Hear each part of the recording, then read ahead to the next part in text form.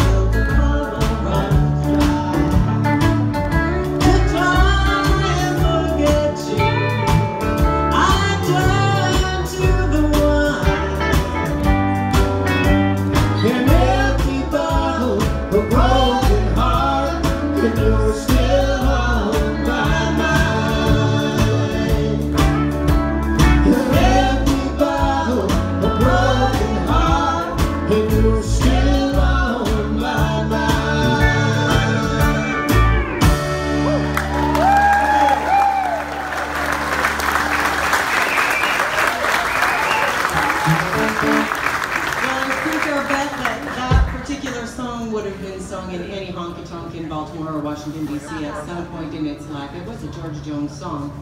Uh, we're going to do another George Jones. No, no, no. We're going to do one from um, Alice Gerrard, who was the singing partner of Hazel Dickens for many, many years. The two of them uh, made a huge splash as uh, strong women in this music. Um, worked in Washington, D.C. and the Baltimore area for a long time. This, um, I wouldn't say they were known as being honky-tonk musicians,